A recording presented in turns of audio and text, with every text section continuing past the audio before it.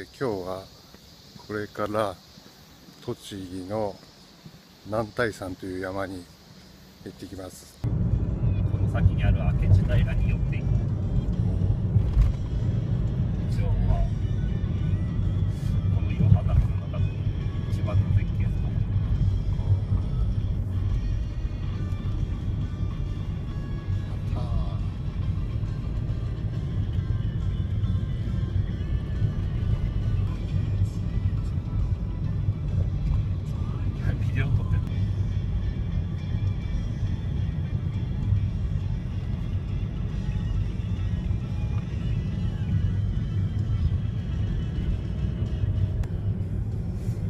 なんだけ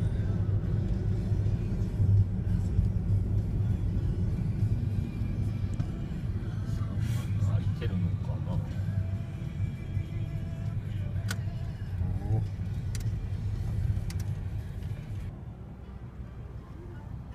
うん。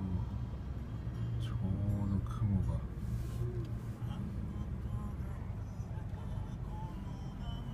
両神さんちが来てるのかねめっちゃきつかったんだけどあれわかる両神さんうん。あれなんなんできつかったんだろうな道だと思うよ。道が悪すぎてきつかったんだと思うよ。俺の予想は。そうかね。あとアップダウンが多すぎた。あ